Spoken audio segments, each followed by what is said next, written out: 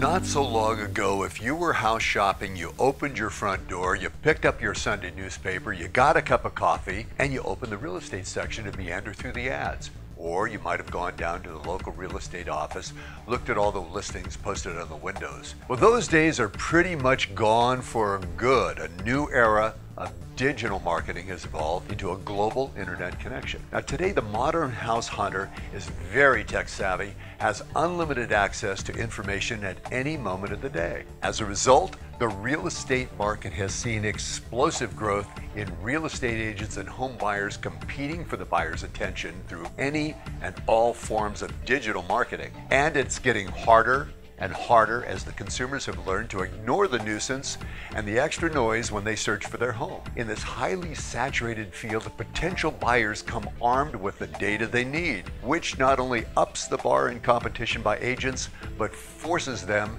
to prove their usefulness and set themselves apart from the pack. Now, real estate marketing has become an extremely complex process that requires many facets, including an interactive website, a mobile app, social media, blogging, and good old SEO or search engine optimization. Now, all that takes a lot of work, it takes time, it takes money, but it is the future of the real estate industry, and the experts are predicting if you don't embrace technology today, by 2020, you may be out of a job. Now, for minding your own business.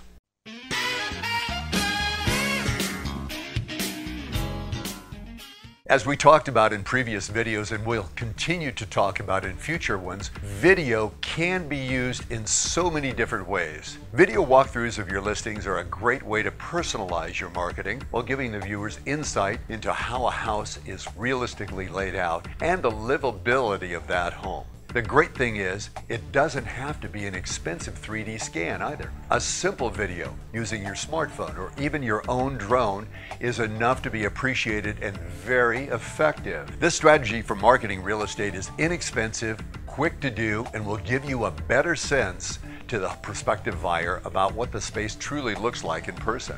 Now, you can splurge on a drone video by hiring someone or simply purchasing one and doing it yourself. But it's not always necessary. If you plan on doing a high volume of these, you're going to get good at it. Upload your video to your Vimeo or your YouTube channel and use the Creator Studio there to add music and effects. That's it for this week's Real Estate Insider Weekly. Thank you for joining me again. Have a great day.